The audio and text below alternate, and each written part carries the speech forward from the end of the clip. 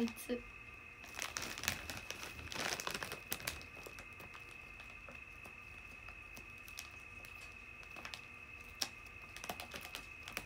これまあ本当に本当に美味しいんだ。マジでガチで美味しいんだよこれ。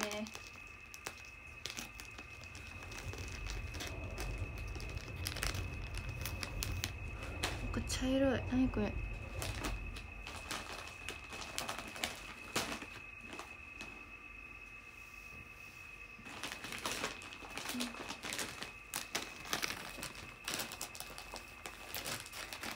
汚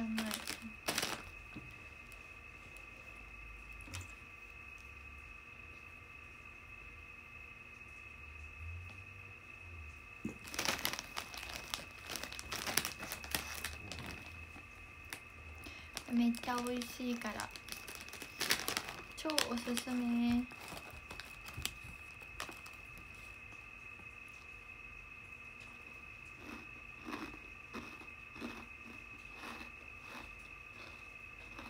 うんふん。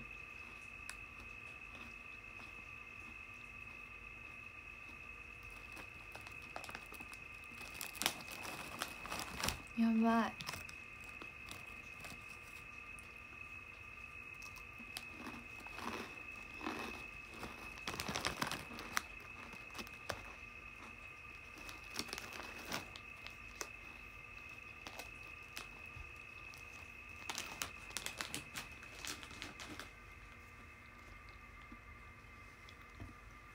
ツーショット会は6日程すべて購入しました。やったー。嬉しい。ありがとう。楽しみにしてるね。セブンにない。どこにあるんだろう。どこで買ったんだっけ。マイバス？マイバスかな。なんかさねこっちのさこれ気になるからちょっとさアイロンしてもいい？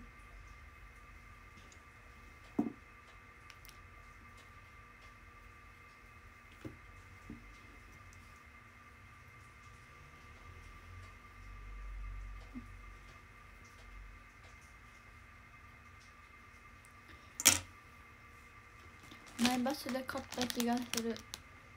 そうアイロンはリファ使ってます。なんかさリファが一番さかいいんだよね。なんかゴミついた。なんか前髪巻くときになんか例えば分ける前髪アイドル前髪とかさしたい時になんかリファめっちゃやりやすいの。なんでだろう。なんかここのここが薄いのこことここ熱っが薄いんだけどあと挟む力もなんかいい感じでクッションがちょっとねギュッてなるんだけどすごいやりやすい。みんな前髪きれいに作りたいならリファ買うべき。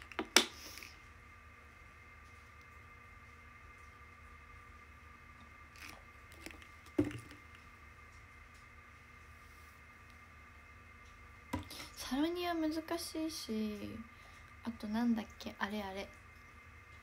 ヘアビューローもちょっとねやりにくいなだよね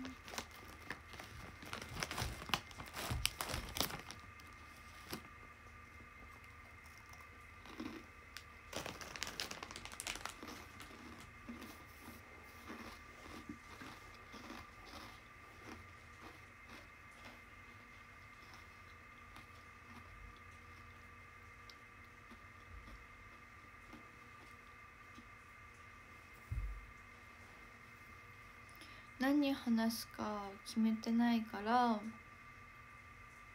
みんなに話す内容を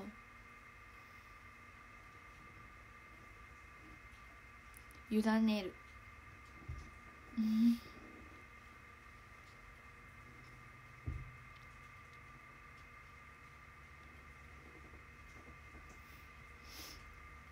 委ねます。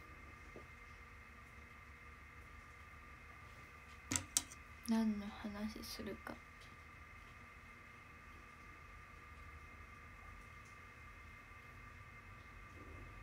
うわ待っててかねリゼロ今見てんだけどさまだ途中なんだけど1話。あの見逃しで見てんのよ Hulu で。なんか夏木すばるええやつすぎやろって毎度のこと思うっていうね。明日友達とご飯行ってくるんだよね。超楽しみ。最近バラエティ頑張ってるね。頑張ってるけどイメージあったっけ？なんかでも自分から行くことが大事ってなんかどっかで言われたことある気がして全然覚えてないんだけど。だから何かあったら割と手挙げたり自分から行くようにしてる。からかな。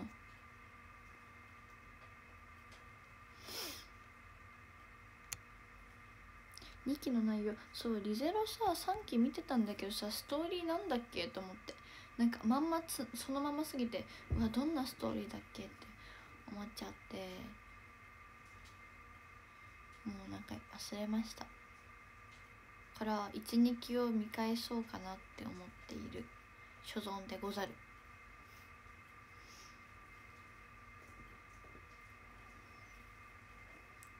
そう。なんかアニメあるあるだけど間空いたら忘れちゃうみたいなない？シーズン。私マジで忘れちゃうんだよね。でもその話で言うと「鬼滅」は忘れなかった。なんでだろう。流行ってたからかな。鬼滅はなんかね忘れなかったんだよねシーズン相手も。なんでだろう。それが結構謎。でも私は基本的には一気見タイプなんであんまり確かに「鬼滅」はストーリーがシンプルだから忘れないよね。確かに。異世界転生系って難しいからさ忘れちゃうんだよね。鬼滅マジでさシンプルだよね。でもそのシンプルがゆえにめちゃめちゃいいなって思った。なんか「呪術廻戦」とかは面白かったんだけど私難しくてなんかねちょっとね分かんなくなっちゃったんだよね途中で。うん。なんかやっぱシンプルでおもろいのって一番いいよねって。リゼロは期間空きすぎたような。それはそう。全然覚えてなかった。術はねなんか後からいっぱい出てくるなんかいろいろ出てくるんだよな。技なんか技術式とかなんか。なんか結局なんかその術式ななんなんなんみたいになっちゃって。あとさ渋谷で戦ってたシーンさもうさなんか複雑すぎて渋谷のどこが何でどうなのかがよく分かんなくなっちゃった。愉快かった。おもろかったのに。キャラかっこよかったしみんな可愛いしかっこよかったのに。もう一回見ようかな。って思ったり。難しいっすね。そういえばさあれ撮ったんだよね。明日 TikTok にあげる。可愛いだけじゃダメですか。右左正面無視させちゃう。でギュギュッとして。気は戦国野の小町も多分本気出してた。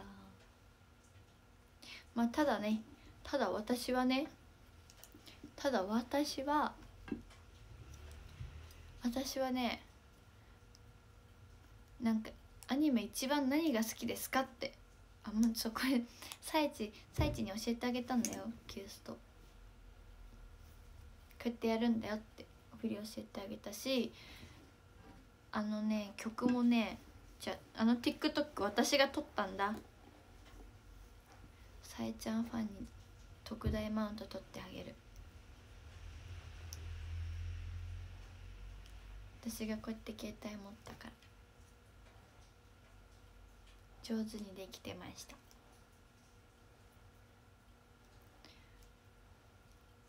ひなちゃんもあげよう。撮ったから。明日載せよう。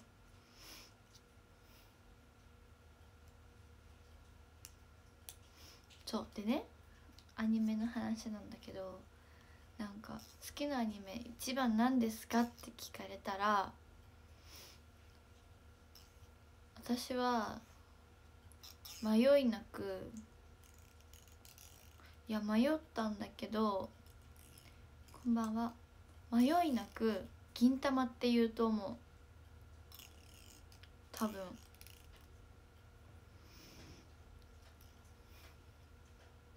いやなんか配給もめっちゃ好きなんだけど銀玉本当に好きだな。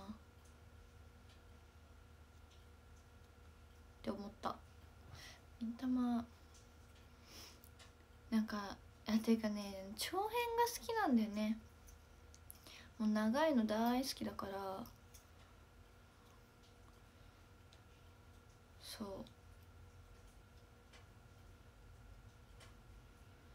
う。なんか銀玉ってさギャグ漫画と思いきや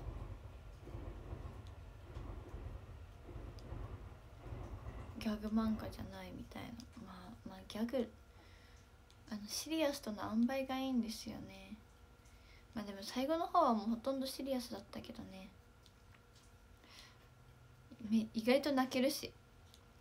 結構泣ける。本当に泣ける。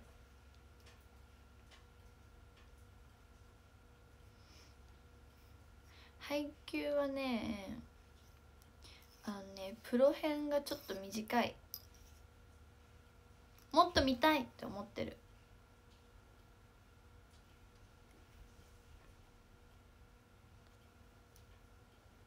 もっと見たいよって思うの配給は。もっとプロ編見せてくれよ。日向のその活躍見せてくれよ。ブラックジャッカルで戦ってる。佐草清美と日向翔陽をもっと見せてくれよ。こっからだろ？世界と戦ってる彼らが見たいんだ。こっからがスタートじゃんって思うの。だから足りないなって思っちゃう。足りないっすね。そうなの。でイタリアに行った影山はどんな感じなの？どういうプレーをしてるの？イタリアでどんな活躍してるの？って見たいの。イタリア語喋ってる影山飛びを最高なんだけどって言いたいわけですよ。もっと喋らせてって思うわけ。ちなみにアルゼンチンに行った及川徹はどんな感じなの？って聞きたいの。え？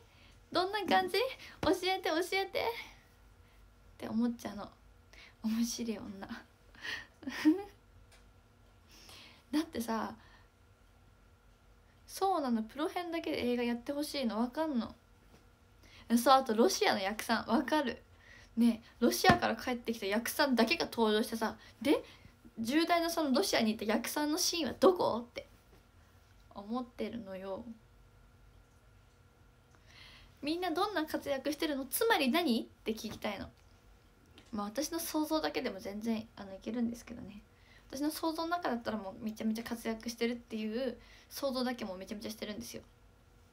ああ絶対影山イタリアでも超活躍してるしもうイタリア人にも負けないぐらいイケメンなんだろうなとか全然想像できちゃってるんですよ。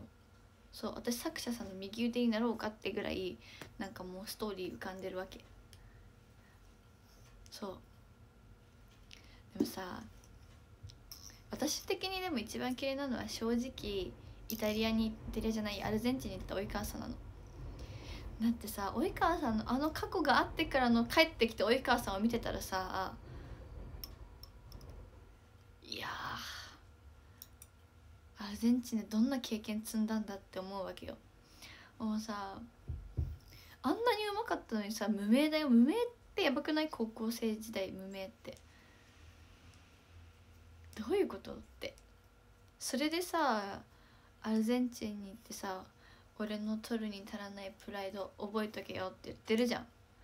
それがどんなプライドなの？つまりって聞きたいの。その取るに足らないプライドはつまりどんな感じなの？って。教えて見せてそこのシーンってことよ。思いませんか？それ。え思わない？あんなセリフ言っといてさその取るに足らないプライドはどんなのだったのか教えてよ。言いたくなるんですよ。ね。若俊くんは相変わらずかっこよくてさプロに行ってもなんかすごい男気あふれる感じだよね。なんか。スナリンとかちゃっかりプロにいるしね。てかスナリンのプロしてるなんかプロバレーやってるところとかもっと見せてって思うしなんならさなんなら社会人バレーボールやってるさ二口賢治とかどんな感じなんですか？って聞きたくないですか？思いません？ね牛島は運がいいらしい。ね。いや運がいいってなんか謙虚だよね。かっこいいわ。いや俺はうまいんだぐらいもっとなんか言っちゃえばいいのにね。運がいいだがしかしそのそれ以前に俺は才能があるとか言っちゃえばいいのにね。あんな体格にも恵まれて左利きで。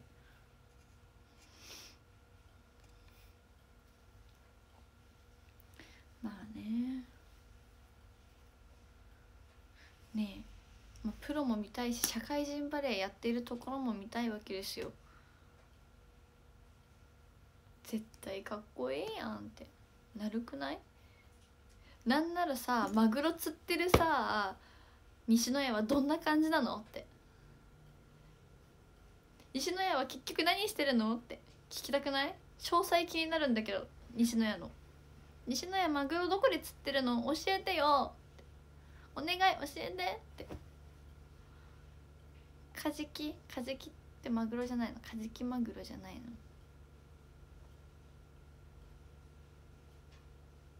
まあ何でもいいんだけどさ野谷さん何してるの？結局。って聞きたくなるじゃ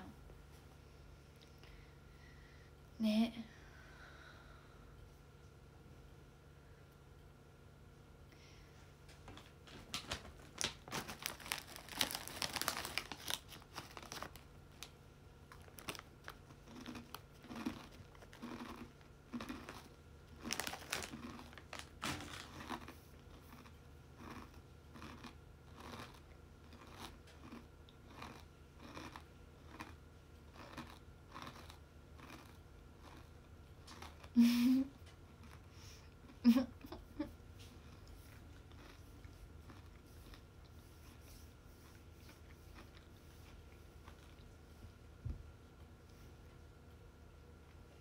しい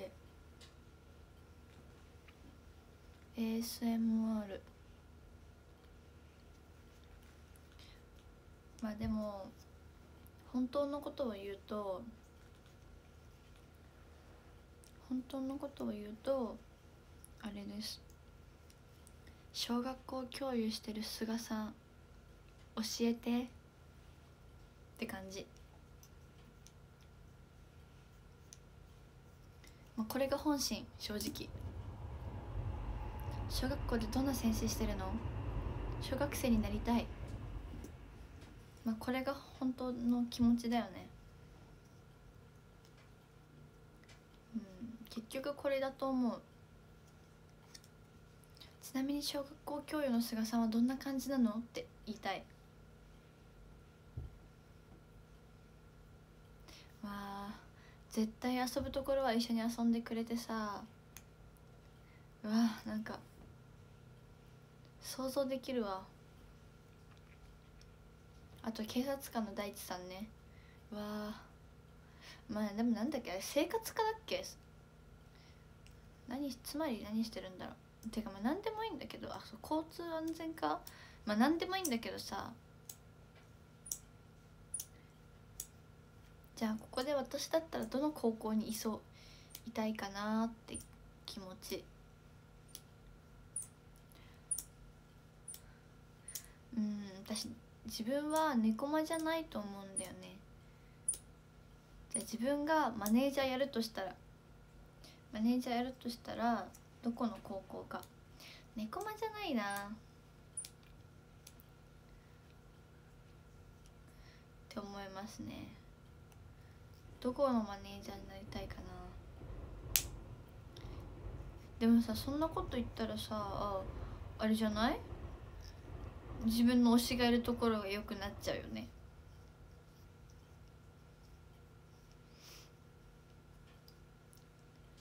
うん。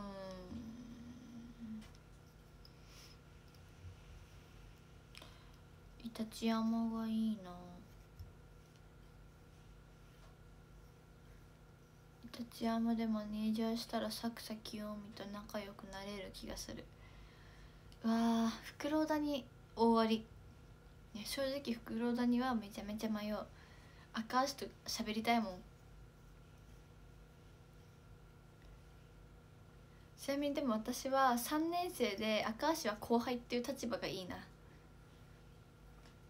でもちなみに言うけど私最近は二口検事にハマってるので伊達工ですね。伊達工業工業高校でしょ？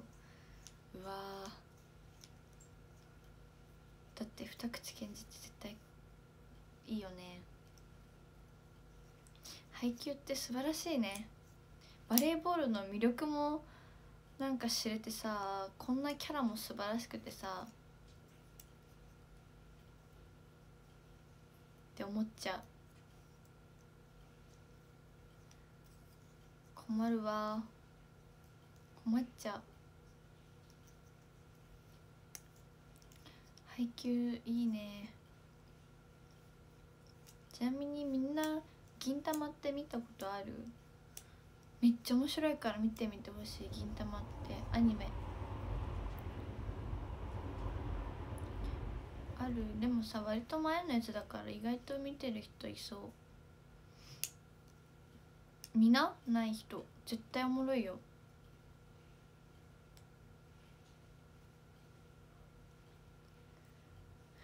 私あのアンレイムのさ前さ番組でさ好きな曲みたいなプレイリストみたいなやった時にさ「ドンテン」言った気がする「ドンテン」なんかさ銀玉ってさオープニングもエンディングもめっちゃいいんだよね。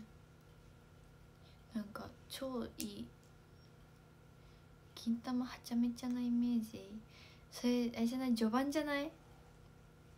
割と最初の方はもうなんかさもう結構大変。なんかさもうふざけ倒してるけどなんか後半になると結構シリアスといい塩梅でね本編のシリアスとギャグ界とかでいい感じなんですよ。ネオ・アームストロングサイクロン Z 私多分銀玉結構何でも言える気がする。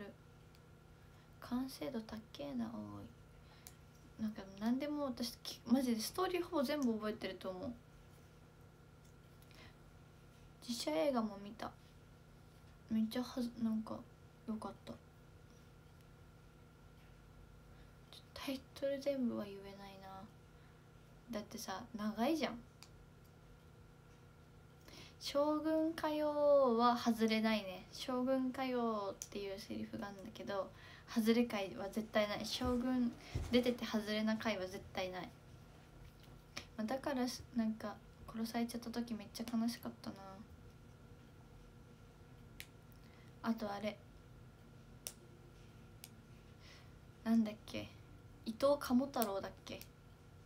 もうさ歴史上の人物をもじりすぎて何が何だか分かんなくなっちゃうんだけどさ。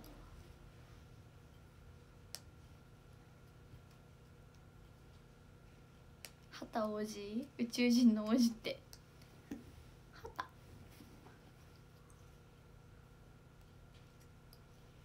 わらわ。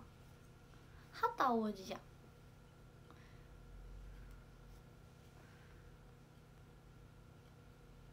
そう伊藤鴨太郎だよね多分。あのシーン本当に結構警察に泣いたんだよね。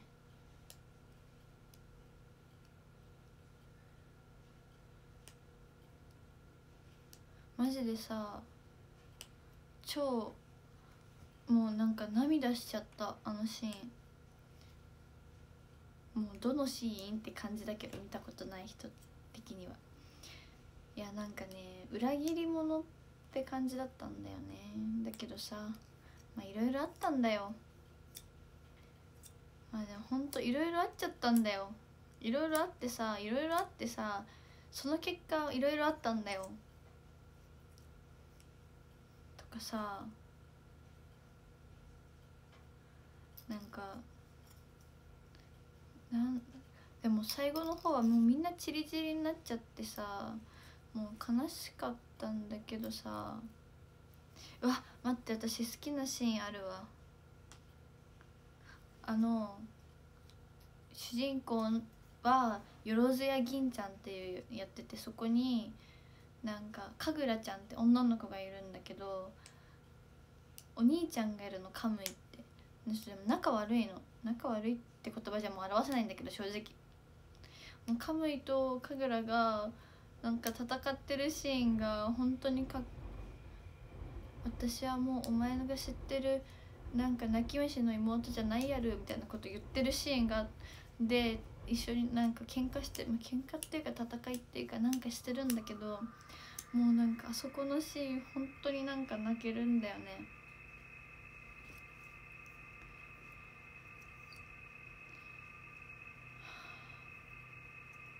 いや本当にいいアニメだからマジで見てほしい。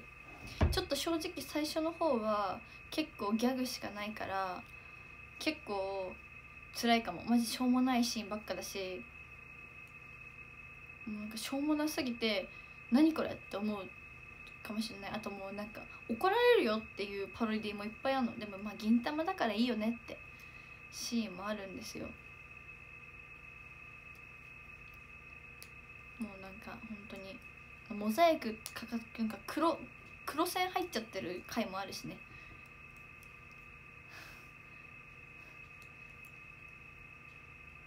黒線入ってるところもあるしね。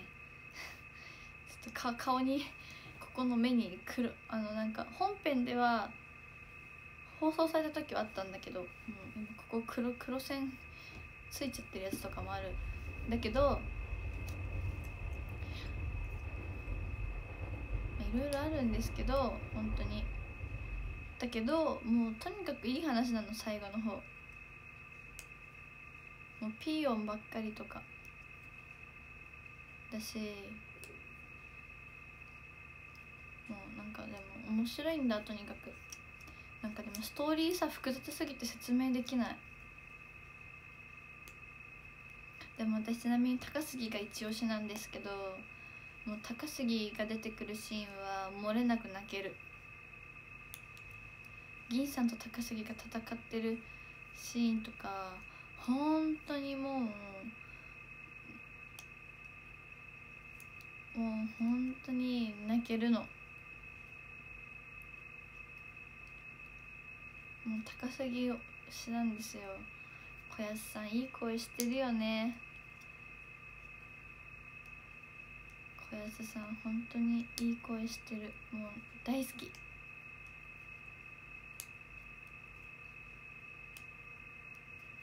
いいよね。もう高杉本当に素晴らしいんだはもう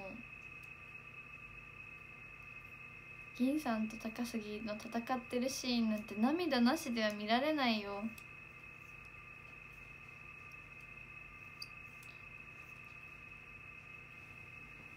いや本当に。でも最近銀玉見てなかったんだけどなんかニコニコ動画ねこの前見てて。ニコニコ動画見ててなんかね見つけてしまったんだよ。なんか声真似動画とかさあるわけですよニコニコ動画に。なんかそういうのを見てて。あの懐かしすぎて銀玉の話を思い出した。いやー取れた。壊しちゃった。そう。あの銀玉本当に見てほしい。結構見てほしい。今時ニコニコ動画見てるし。ニコニコ動画もたまにだけどね。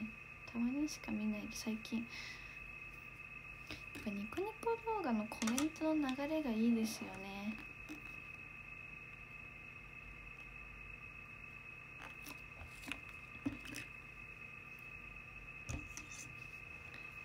そう。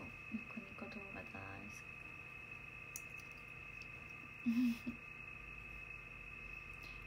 きお願い。みんな見て。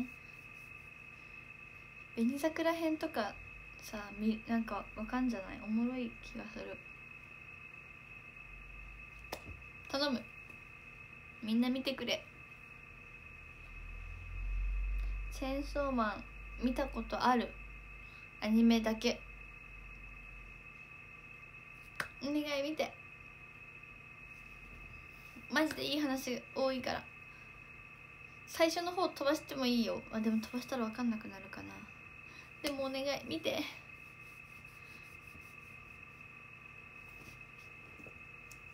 てか登場人物みんなかっこいいから。みんな可愛いし顔顔も超可愛い女の子キャラ。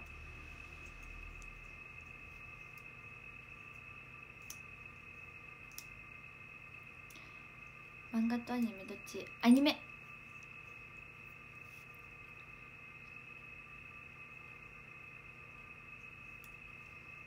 絶対に見てくれ。お願い。キューベイね。うわ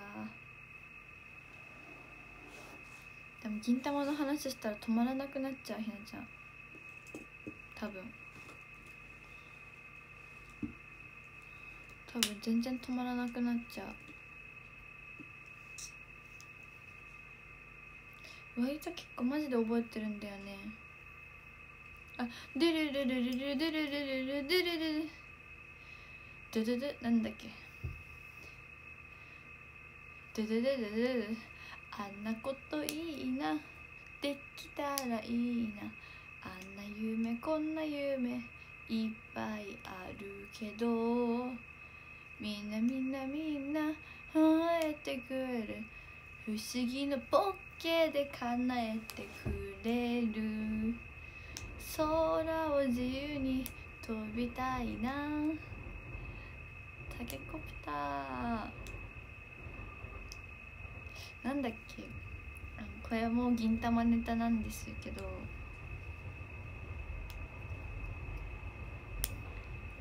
じゃあこれこれも銀玉ネタ。なんか同窓会のシーンがあるんですよ。同窓会をやるシーンがあって。そこで暗い中になんか銀さんがビビって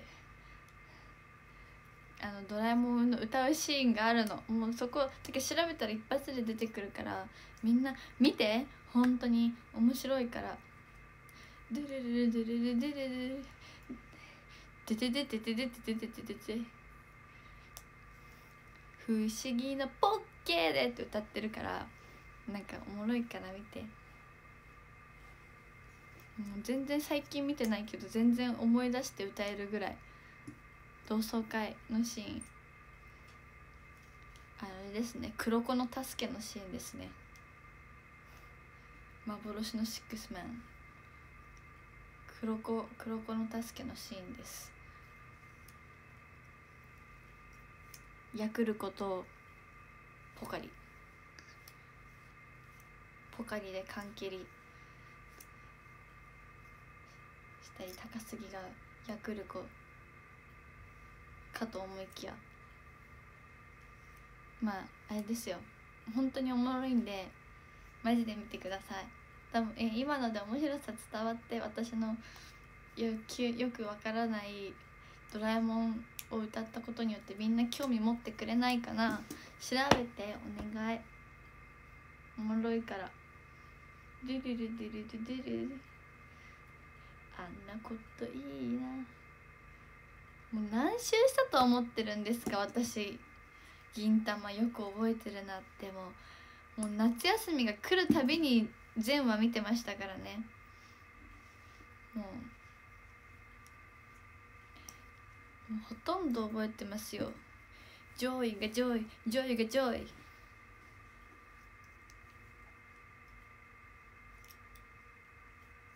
カツラップも歌えるよ。カツラップも歌えるし。上位が上位上位が上位なあもうな私のなんか記憶がよみがえるな。だからさフリップでさなんかたまにさみんながさこの前のねアンレイブのあの学園祭とかでもいたりしたんだけどなんかフリップさ フリップフリップでさなんかさお見送りの時とかフリップ見せてくれる人見るとさなんかエリザベスを私は思い浮かぶんだよね。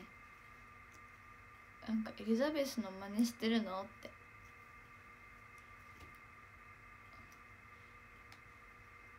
エリザベスっていうなんか謎のねキャラがいるんだけどいっつもフリップ持って喋るの。もう喋んないの。声出ないの。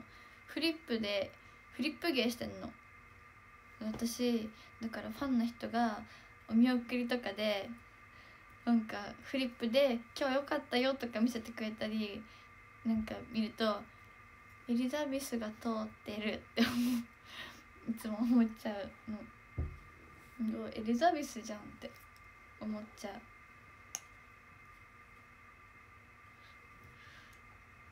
えエリザベスエリザベス系なのかなっていつも思ってる。エリザベス調べてみて普通に全然可愛くないから。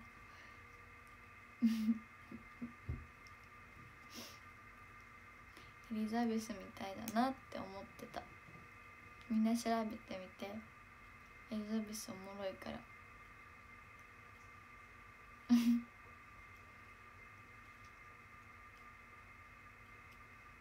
リザベスはね桂小太郎っていうねやつの、うん、なんかパートナーみたいな。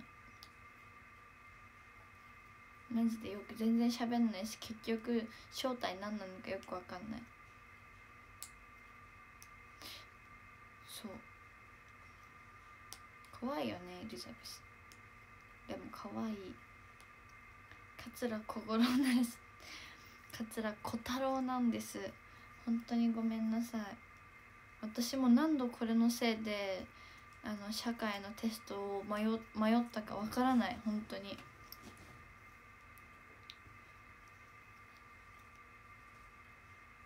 でもね銀玉のおかげでなんか日本史めっちゃ点数良かった時とかもあったよ。だから結構銀玉勉強の役に立つよ。マジで。一瞬分かんなくなるけどね。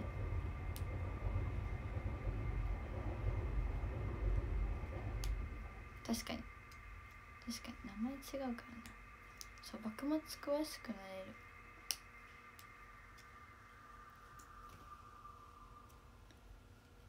銀玉でテスト乗り切ったの。そうよ。銀玉だけで私はテスト乗りこ乗り切ったみたいなとこ正直あるから。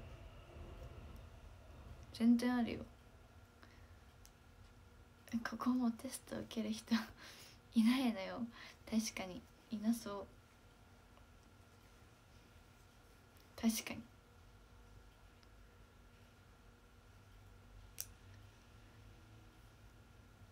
わあ今セリフ思い出したいのにさ思い出なくてさすごい悔しい。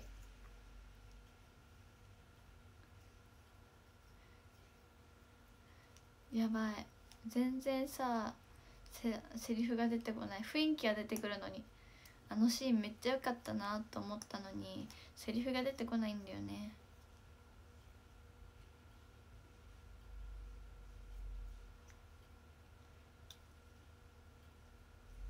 うわ思い出す思い出せないや割と最初の方なんだけど、まあ、高杉に会って桂と銀さんが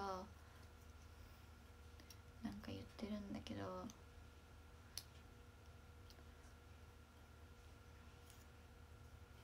思い出せないや。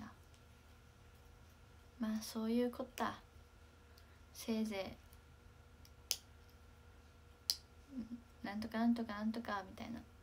さす坂本龍馬に出て似た人出てく出てくるよ。坂本達馬出てくるよ。土佐弁のね。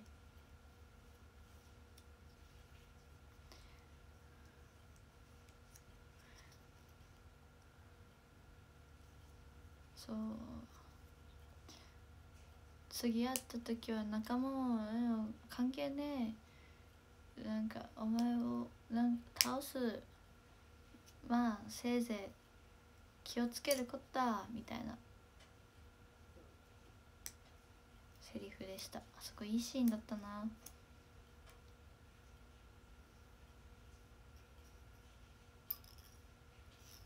いや本当にめっちゃいい線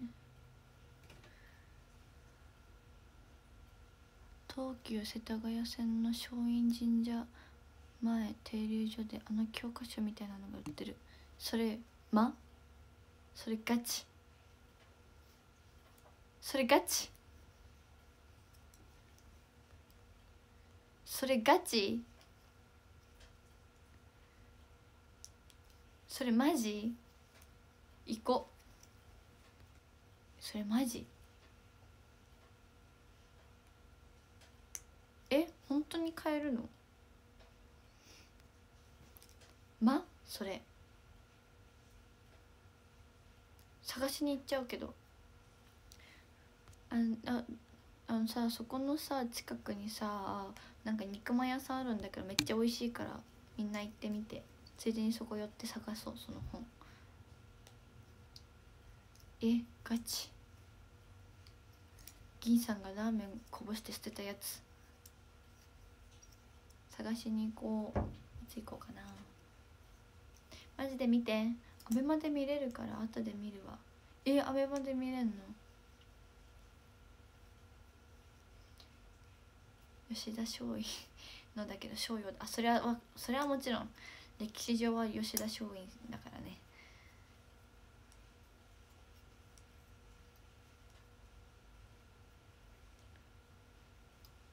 今から銀玉全367話を Hulu で寝ずに見ます。147時間6 7時間6日間。えそんななんだ。えでもいけると思う。おもろいからそれぐらいで見れるよ。絶対。きなんか面白くて寝ないで見れる気がする。意外と。おすすめです。なんかでも金玉の話あんまあれですね。なんかおもろい。おもろいかな。ちょっと待ってひなちゃんさ本当は見せたいものあったんだよね。探してくるね。まあ探すも探すもないって感じなんだけど。これこれ。みんなにこれ見せようと思ってたんだ今日の配信。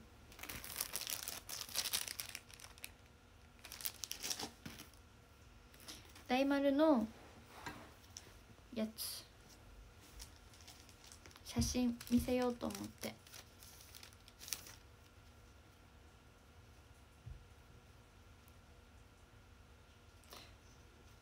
なんかさなんかのさウィバースで喋ってる時にさなんか何の話してたか分かんないんだけどさ骨骨ワルツのさ話なんかすごいしてななんかすごいコメント来た気がするんだよね。ビバースの DM で。何の話してた時か分かんなかったんだけどなんかみんながすごいさ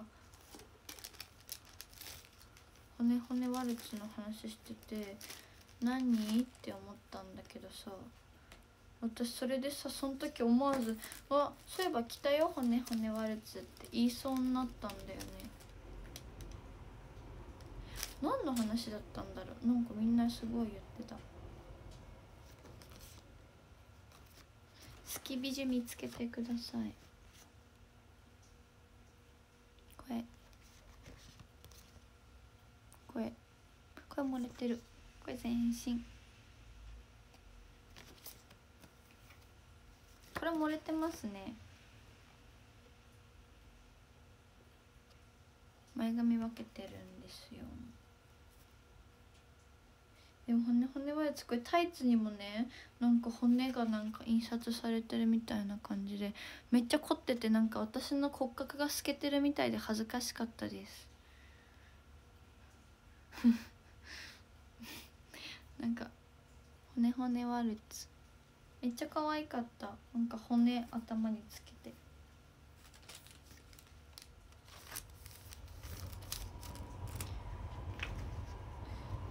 あとこれ。じゃじゃん。私この自分がさなんか着てるイメージなかった。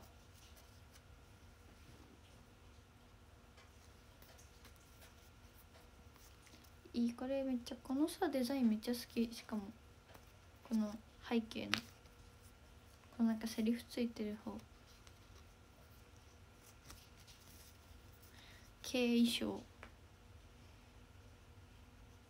なんか自分がチーム系のイメージがないからすごいさ着てなんか着てみて。なんかわこんな感じなんだって思ったけど。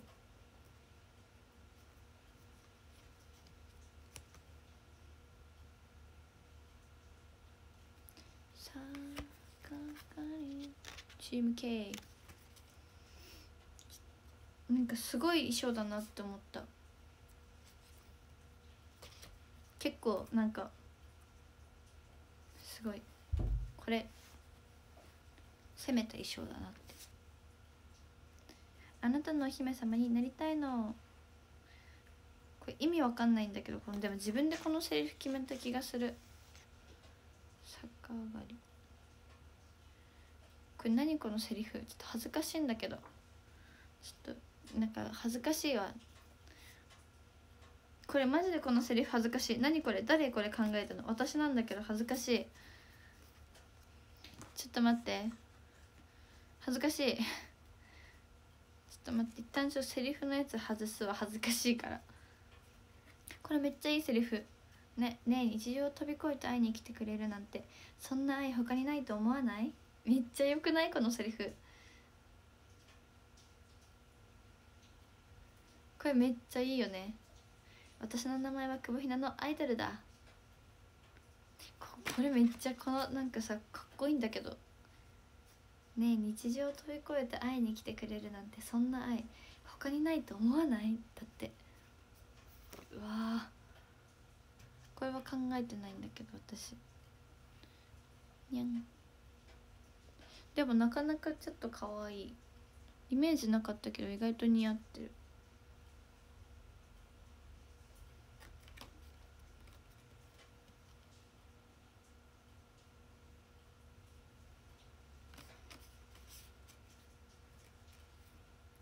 全身ちょっとかっこいいポーズしてますねこれ。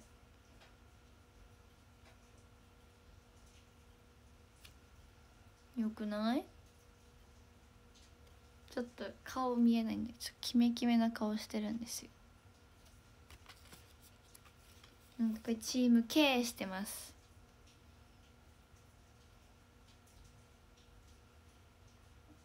K これは本当に意味わかんない。あなたのお姫様になりたいの。かまってにゃん久保ひなのですだって。何これ？全然意味わかんないんだけど。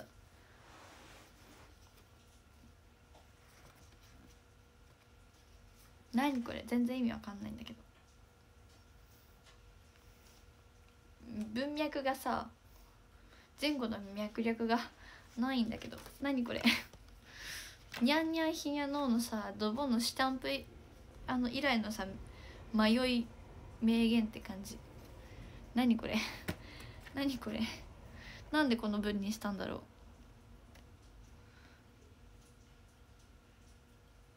謎は深まる。かまってにゃん謎ですね。恥ずかしいのでみんなぜひ買って在庫を減らしてください。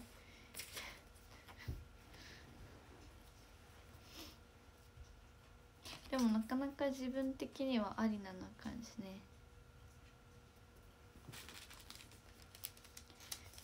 食べようかまってにゃんよりみんなのお姫様の方が恥ずかしそう。いやもうあれですよ。全然開き直ってますからそれは。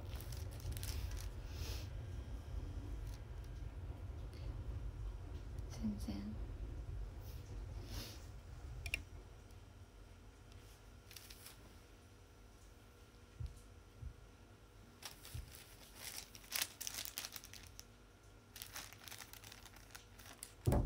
いいっすね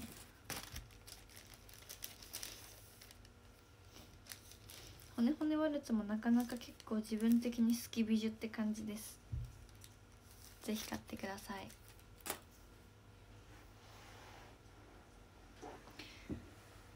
あれなんだっけ？なんだっけ？あのもうだこれ第2弾のやつなんだけど第2第1弾のさ「夢でキスミー」の写真ちょっと今手元に近くにないんだけど。どこで買えるの？東京駅の大丸で買えます。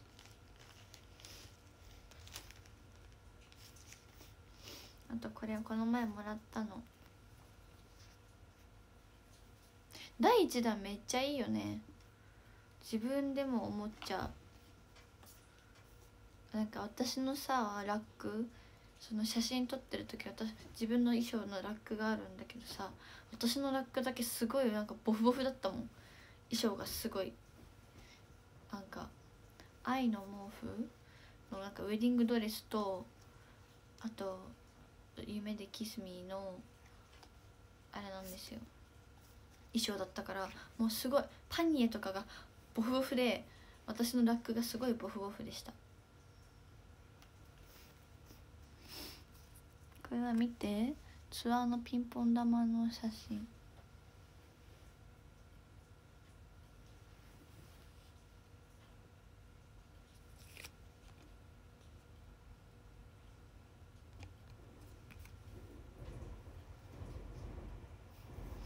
夢見んでキスミこれ友達にあげようかな。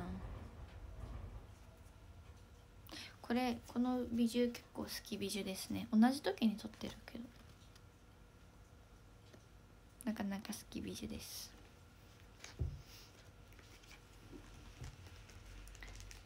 っていう話さ。3枚ももらっちゃった。どうしよう。みんなあげるみんな欲しい？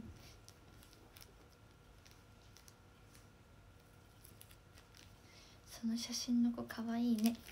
わいわいわいやで。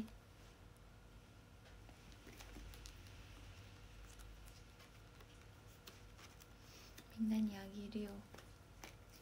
ひなちゃんも携帯ケースにこれ入れようかな。自分で自分入れるのちょっとキモいかな。でもねあれだよ。私のスマホのホーム画面ちなみに言うけどねジッパー自分のジッパーの写真だから。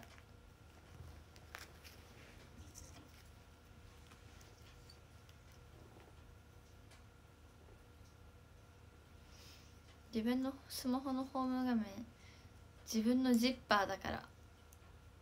亀子さんに撮ってもらったジッパーのやつだから。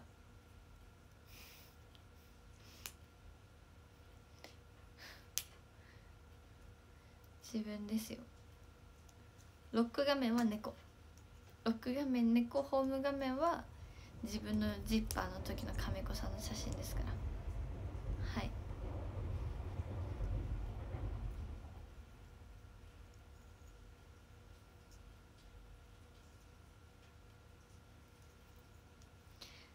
あのねあれなんなんかさあの自分と猫の写真はいつ見ても気分が落ち込んでて病んでる時でも猫と自分の写真は見ても加速しないしあのマジ気分の変動がないからおすすめです。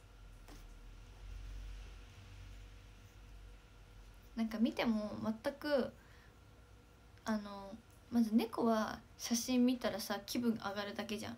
猫見てさなんか気分落ち込むことって絶対ないじゃん。だから猫をロック画面にするじゃん。ホーム画面自分にしとけばいつ見てもなんか何も思わないからめっちゃおすすめ。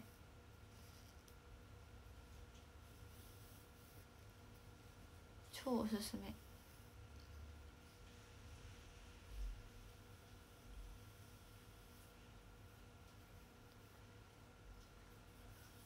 なんかそう私はこれに行き着いた。この考えに行き着きました。いやなんかねいやなんかねなんだろう。それ以外の写真だとそれに左右されるんだよね。なんかなんとなく。個人的に。だから自分が今んとこベスト。ホーム画面。ロック画面は絶対猫。えみんなも自分ホーム画面にしちゃえばいいじゃんっ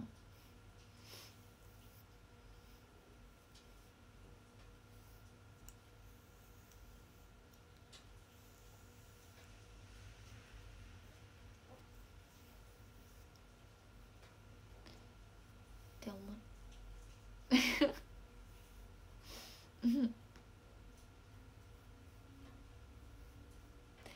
最悪でも通称。じゃあ通称にしてよ。通称ホーム画面にしてよ。通称ホーム画面にしよう。じゃあ。それありじゃない？あの通所ってデータでもらえなくてさあれなのか。じゃあ通所通所ホーム画面にしよう。通所で自分をぼかす。ぼかしたら意味ないでしょぼかさないでよ。通所も編集してひなちゃんだけ。私自分で撮った久保ちゃんの写真。ああそれあいいですね。嬉しい。嬉しい。いいね。えみんなホーム画面とロック画面通称で久保ひなのぼかすか？え？それは自分ってこと？自分にするの？自分にするんじゃいきするんするんかい？結局。ロック外したらおじさん出てくるのつらすぎごめん。みんな誰なの？ホーム画面とかロック画面。誰なの？自分？誰にしてるの？初期画面？つば九郎犬あやっぱでもさ自分のペットとか多いよね犬猫。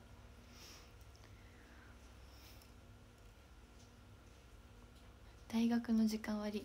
おおき急いでるね大学生。大学生大変だね。忘れちゃうもんね確かに。初期画面。初期画面？なぜ？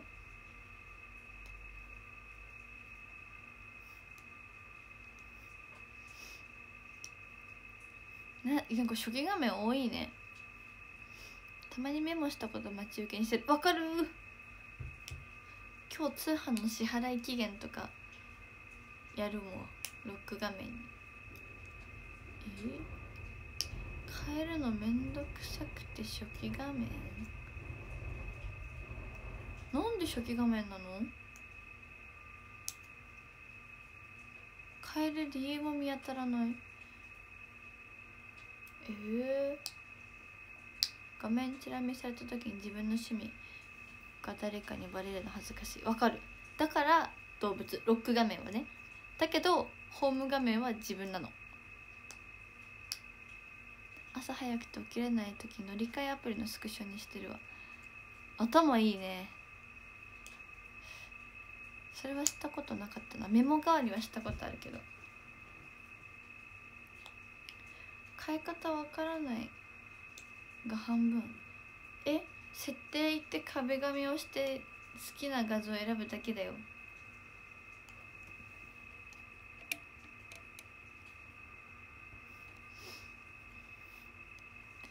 アイドルを画面にすると職場でバレた時悲惨なんだよ、まあ、分からなくもない。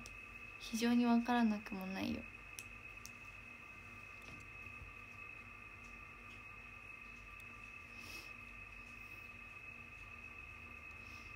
朝 の通勤で JK がたくさんいるんすよ毎日。そうだよね。みんな社会人だもんね。そうだよね。確かに。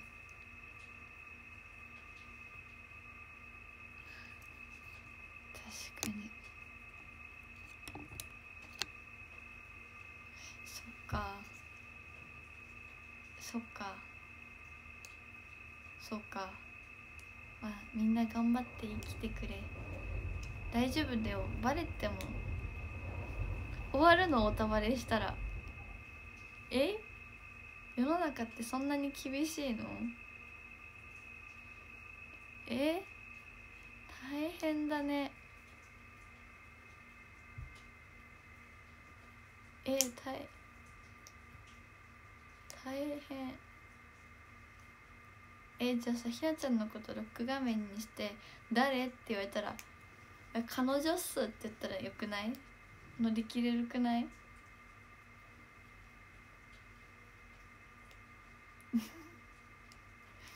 世知辛いね。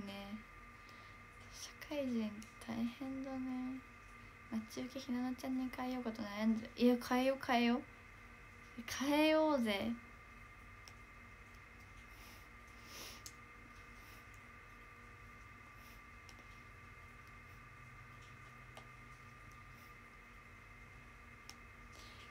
彼女っすって言える風写真ください。お任せとけ。いいよ。任せとけ任せとけ。みんながロック画面にしてくれるなら撮ってくるわそれ。彼女っす。久保ひなのちゃん。バレるかな？バレないよ。姪っ子とか娘とか多いな。いいじゃんそれはそれで。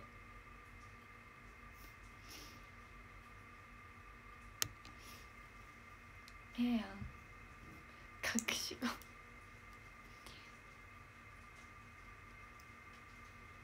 でもしょうがないな。えー、ひなちゃんのことロック画面にしてくれるならいいよ。撮ってくる彼女彼女っ写真。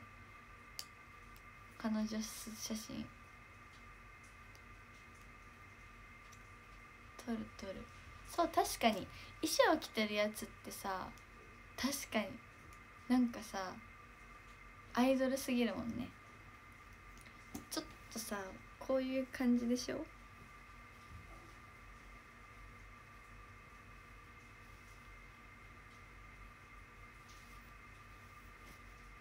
ちょっと不一致だな。解釈不一致だわ自分の中でこれ。だからこれで、まあ、こんな感じでなんか笑ってる写真とかがいいんでしょ？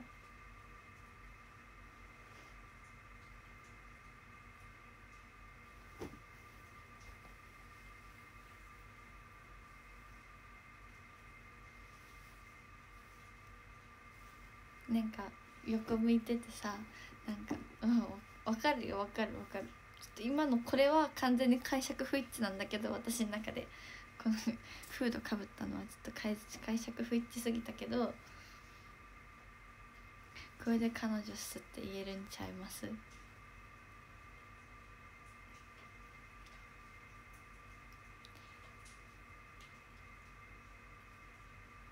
オッケーオッケー。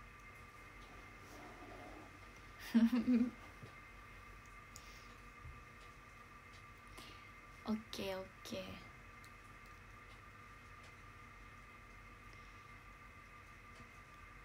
おもろいね。そっかよなんか世の中そんなに厳しいんだって思った。大丈夫だよみんな。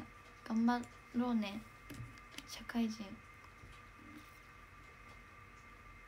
寝起きとかにしてくる。わ寝起きはちょっとさすがにもうなんかもう誰か判別できないわ。多分目がパンパンすぎて。もう絶対目が目ももうパンパンで誰誰なんか人ですかって言われちゃうからダメだよ。それダメですね。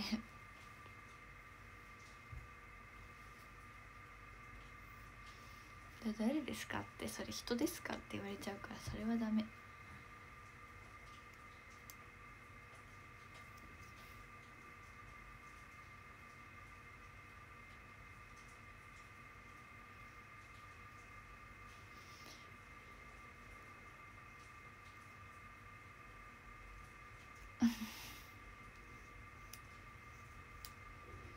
面白いね。なんか面白かったわ。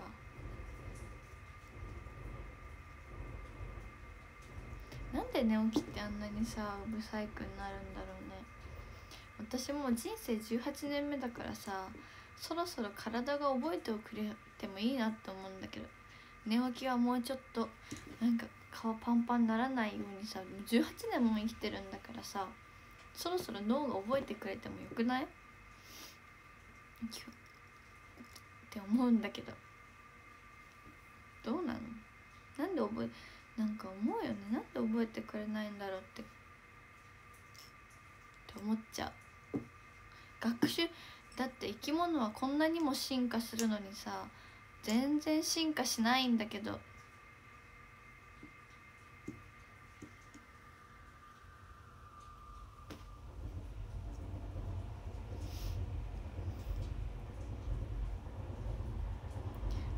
う進化してくれよ。キレットレモンなんて頼りにならないよ。分かんないよ。むくんでるかむくんでないか。飲んで。気持ちだよ気持ち。心なしかむくんでない気もしなくもなくもないけどあんまり分からない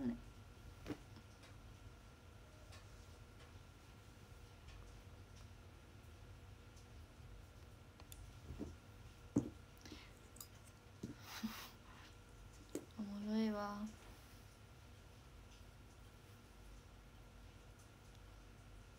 なんかもうすごいむくんでる時とかもう目が開いてなさすぎて視界が半分ぐらいだもん。もう地球が半分ぺっちゃんこになったぐらいだから。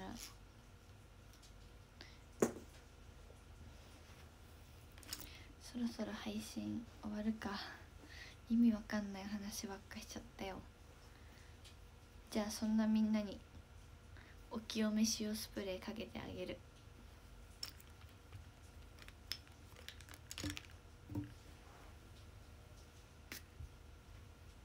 みんなも清めてあげる。せーの。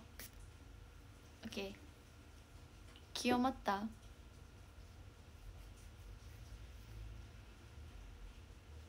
もう一回清め今分かんなかった人向けにもう一回清めてあげようか。もう一回清めてあげる。どうや？清まった？いいっすね。私も清まりました。清まったどころか体消えかけてる。嘘。まさか霊だった。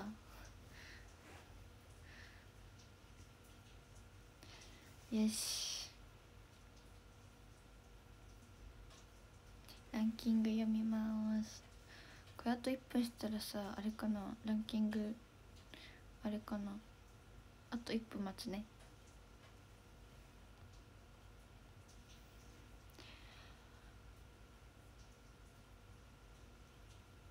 雨がさなんか今梅雨なんかさっきさ雨すごいからさ今なんか梅雨っていつだっけ？10月だっけって思ったんだけどさ梅雨っていつだっけ？6月とかだよね。なんでこんな雨降ってんだろうね。謎い。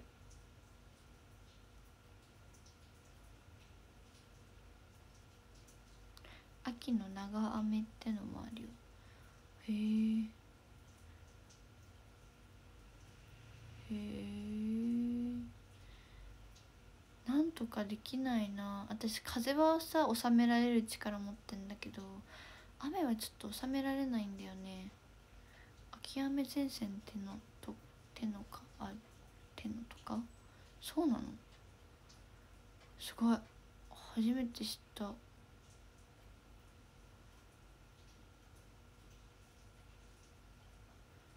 えー、あ秋雨でしたか。大変申し訳ございません。秋雨前線でしたか。秋雨じゃなかった。あらららら。私結構風操れるよマジで。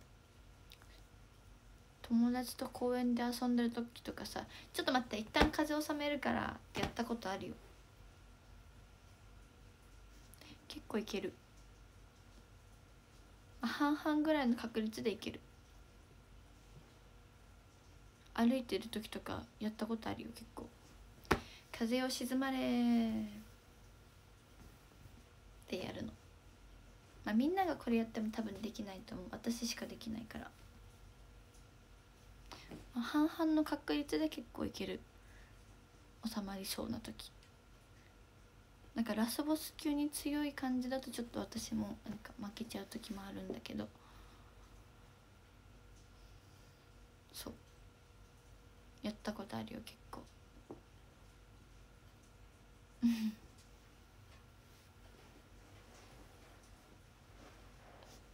じゃあランキング読みます。これガチだからね。これガチの話だから。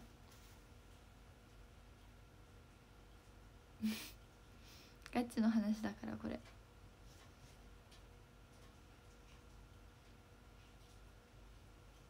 トレイオーエダ線の。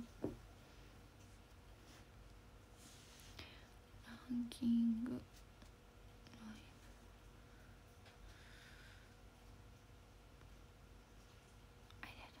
10は読みます。13位。のりたまさんありがとうございました。12位しんやさんありがとうございました。よいしょ。あれあれ行き過ぎた。11位電気ビリビリさんありがとうございました。10位りくとさんありがとうございました。9位はやりんごさんありがとうございました。8位まなみちゃんありがとうございました。7位ひらばさんありがとうございました。6位ガンバレットさんありがとうございました。5位関根さんありがとうございました。4位りょうさんありがとうございました。3、3位、桃の旦那さん、ありがとうございました。2、356竹さん、ありがとうございました。そして1位、つなちゃん、ありがとうございました。ありがとう。皆様ありがとうございました。あ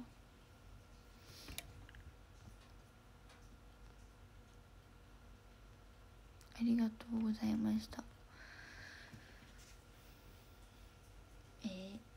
ねえそのさハッシュタグやっぱ18期やなって何？何なんかさ知らない間になんかすごいできてた。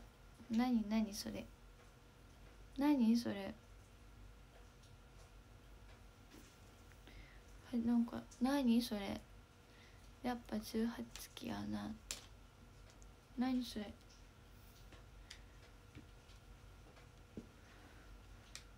あ昨日の夢見のやつで。夢見のショールームでさえちゃんがビバースうん？なんだなんだ？夢見の配信で言ってたんだ。なんだなんだ？ゆなちゃんのポスト。なんだなんだ？まあとにかく夢見の配信でなんかそんな感じになったんだ。どういうあれでなったの？どういうこと？どういうこと？つまり何なの？配信で言ってたえ？つまり何？なんか何？18期の写真載せるときに。何？何？何の話？あ18期推しのタグってことか。つまり18期最高ってこと？それは最高なんだけど。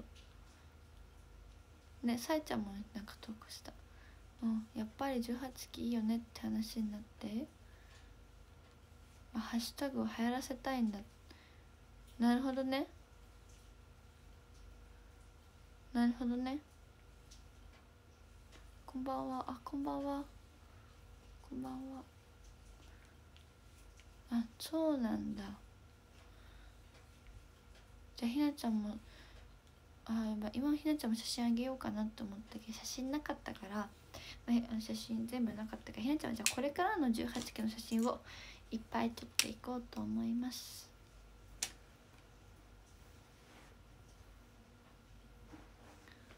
思います。じゃあそういうことやな。了解した。コメント読み読みタイム？なんか毎日やってるからさ。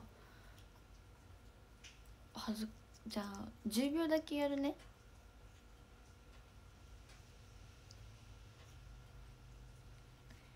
せーの。10 9 8 7 6 5 4 3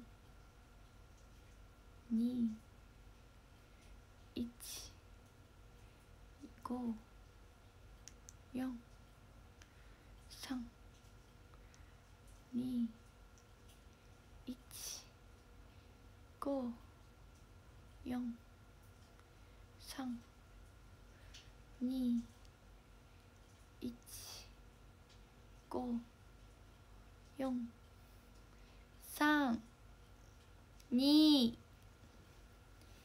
ワンありがとうございました。ありがとうございました。楽しかったです。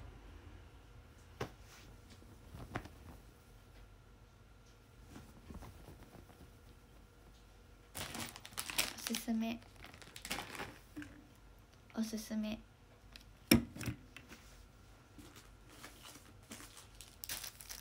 おすすめ。おすすめ。以上でございます。バイバーイ。